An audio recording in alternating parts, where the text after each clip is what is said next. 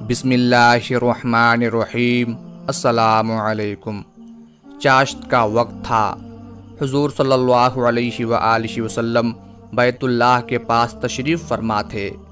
آپ کا دہن مبارک ذکر و تسبیح سے معمور تھا کہ اتنے میں دشمن خدا ابو جہل کی نظر آپ صلی اللہ علیہ وآلہ وسلم پر پڑی، جو بیت اللہ کے ارد گرد بے مقصد گھوم رہا تھا۔ وہ بڑے فخر و تکبر کے انداز میں حضور صلی اللہ علیہ وآلہ وسلم کے قریب آیا اور ازراہ مزاح کہنے لگا، اے محمد صلی اللہ علیہ وآلہ وسلم، کیا کوئی نئی بات پیش آئی ہے؟ ہاں آج رات مجھے معراج کرائی گئی ہے۔ حضور صلی اللہ علیہ وآلہ وسلم نے جواب دیا۔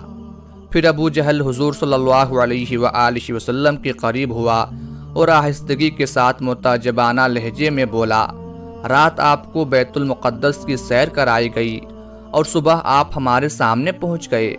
پھر مسکرایا اور بولا، اگر میں سب لوگوں کو جمع کر دوں تو کیا آپ وہ بات جو مجھے بتائی ہے سب کو بتا دیں گے؟ چنانچہ ابو جہل جلدی جلدی خوشی کے ساتھ لوگوں کو جمع کرنے لگا اور انہیں حضور صلی اللہ علیہ وآلہ وسلم کی بیان کردہ بات بتانے لگا۔ لوگوں کا رش لگ گیا۔ لوگ اظہار تعجب کرنے لگے اور اس خبر کا ناقابل یقین خیال کرنے لگے۔ اسی دوران چند آدمی حضرت ابو بکر صدیق رضی اللہ تعالی عنہ کے پاس پہنچے اور ان کو بھی اس امید پر ان کے رفیق اور دوست کی یہ خبر سنائی کہ ان کے درمیان علیحدگی ہو جائے گی۔ کیونکہ یہ سمجھ رہے تھے کہ اس خبر کو سنتے ہی ابو بکر حضور صلی اللہ علیہ وآلہ وسلم کی تکذیب کر دیں گے۔ لیکن جب حضرت ابو بکر صدیق رضی اللہ تعالی عنہ نے یہ بات سنی تو فرمایا، اگر یہ بات حضور صلی اللہ علیہ وآلہ وسلم نے فرمائی ہے، تو یقیناً درست فرمائی ہے۔ تمہارا ستیہ ناس ہو، میں تو ان کی اس سے بھی زیادہ بعید العقل بات کی تصدیق کروں گا۔ جب میں صبح و شام آپ صلی اللہ علیہ وآلہ وسلم پر آنے والی وحی کی تصدیق کرتا ہوں تو کیا آپ صلی اللہ علیہ وآلہ وسلم کی اس بات کی تصدیق نہیں کروں گا کہ آپ صلی اللہ علیہ وآلہ وسلم کو بیت المقدس کی سیر کرائی گئی ہے؟ اس کے بعد حضرت ابو بکر صدیق رضی اللہ تعالی عنہ اس جگہ پہنچے جہاں حضور صلی اللہ علیہ وآلہ وسلم تشریف فرما تھے اور لوگ آپ صلی اللہ علیہ وآلہ وسلم کے ارد گرد بیٹھے تھے اور حضور صلی اللہ علیہ وآلہ وسلم بیت المقدس کا واقعہ بیان فرما رہے تھے۔ جب بھی حضور صلی اللہ علیہ وآلہ وسلم کوئی بات ارشاد فرماتے، تو ابو بکر رضی اللہ تعالی عنہ کہتے، آپ صلی اللہ علیہ وآلہ وسلم نے سچ فرمایا، آپ صلی اللہ علیہ وآلہ وسلم نے سچ فرمایا۔ لہٰذا اسی روز سے آ حضرت صلی اللہ علیہ وآلہ وسلم نے آپ رضی اللہ تعالی عنہ کا نام صدیق رکھ دیا۔ ایک مرتبہ حضرت ابو بکر صدیق رضی اللہ تعالی عنہ بیت المدارس گئے۔ آپ نے دیکھا، وہاں بہت سے یہودی فنحاس کے گرد جمع تھے۔ یہ شخص یہودیوں کا بہت بڑا عالم تھا۔ حضرت ابو بکر صدیق رضی اللہ تعالی عنہ نے فنحاس سے کہا، اے فنحاس اللہ سے ڈر اور اسلام قبول کر لے۔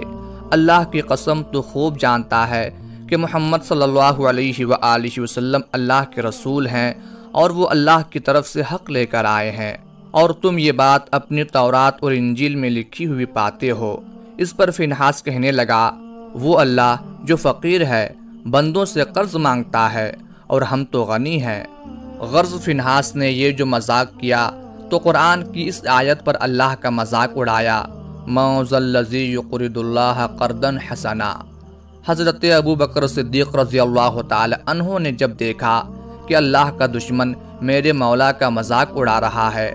تو انہوں نے اس کے منہ پر تماچا دے مارا اور کہا، اس مولا کی قسم، جس کی مٹھی میں ابو بکر کی جان ہے، اگر ہمارے اور تمہارے درمیان معاہدہ نہ ہوتا تو اے اللہ کے دشمن، میں تیری گردن اڑا دیتا۔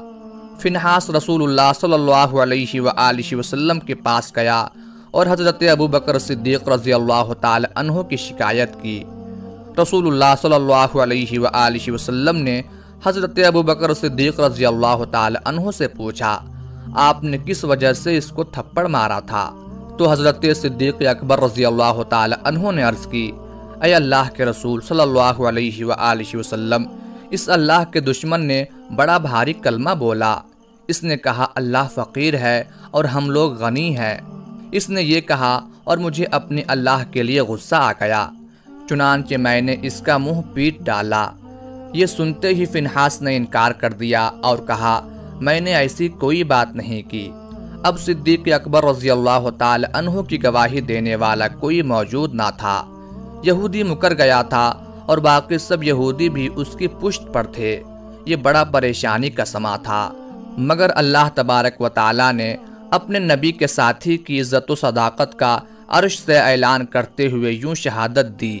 لقد سمع اللہ قول الذین قالوا ان اللہ فقیر ونحن اغنیاء اللہ نے ان لوگوں کی بات سن لی جنہوں نے کہا کہ اللہ فقیر ہے اور ہم غنی ہیں۔ محترم دوستو، حضرت ابو بکر صدیق رضی اللہ تعالی عنہ نے اپنے مولا کی گستاخی پر رب کے دشمن کو تماچا مارا اور جب صدیق کی صداقت پہ حرف آنے لگا تو اللہ تبارک و تعالیٰ نے صدیق کی صداقت کا اعلان عرش سے کر دیا۔